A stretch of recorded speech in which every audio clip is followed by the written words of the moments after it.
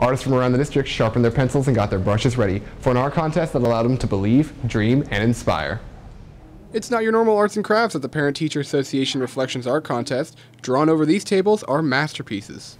The Reflections program is a state and national art contest where students are given an opportunity to participate and create works of art in six different categories. The young artists had a chance to express themselves in many forms through photography, film production, literature, visual arts, music composition, or dance choreography. There is plenty of diversity in the mediums, some pencil, other watercolor, and many blends in between.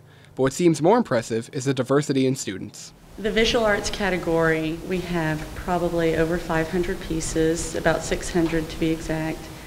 Um, they range from preschool all the way to high school level.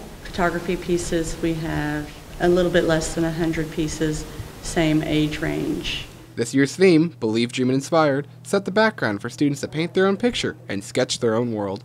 It's me dreaming about what I want to be when I grow up. I drawed me, and then I just drawed a little bubble, and then I put all the things in a space.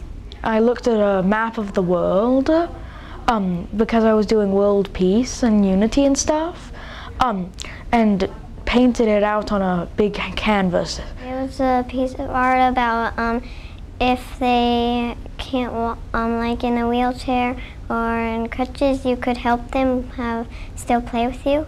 Judging took place at the district level, and those that qualified moved on to state competition. So we've looked at the middle school visual arts, um, then we've got the primary, we've got your third graders through fifth graders, and then pre K. Within each of those, we pick the top three, and then those will move on to state. We had two representatives from Frisco ISD move on to the national level last year. So um, they they won at state, won first prize at state, and then moved on to national. So we're very proud of that because we did have two two recipients of national awards. Hopefully, these works of art left impressions beyond the hands of the artist.